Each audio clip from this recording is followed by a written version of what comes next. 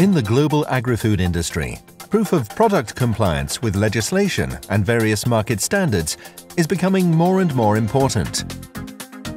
This requires an increasing number of laboratory food product tests to be performed in an ever shorter time frame.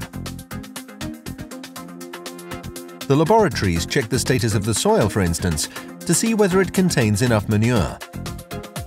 Or they check the condition of the crop or yield by taking samples of the product or plant.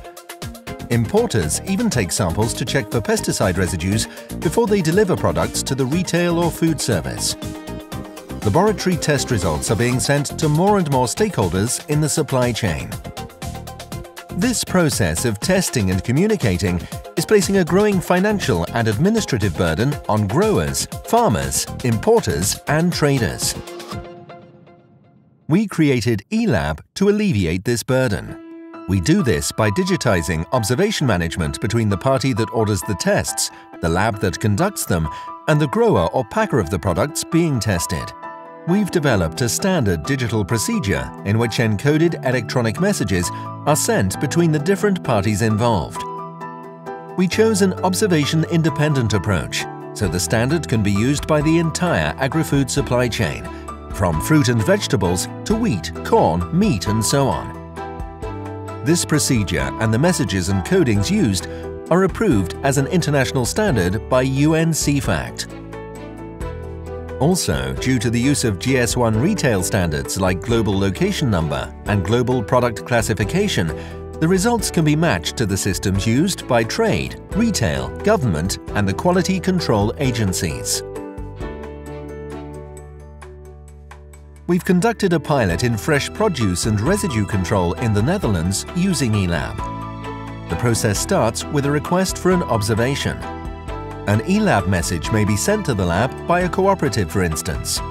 The lab then sends an operative to the sampling location who takes the sample in accordance with EU regulations. This sample is then sent to the lab, which confirms acceptance with an eLab message and processes the intake. The lab performs and registers the observations in the Laboratory Information Management System and then produces an observation report. This report includes aspects such as the analysis method used, the occurrence of pesticide residues, related CAS codes, the MRL level for EU or non-EU countries, the product GPC code, retail-specific MRL levels and the country of origin and is sent in a digital message to the receiver specified in the request.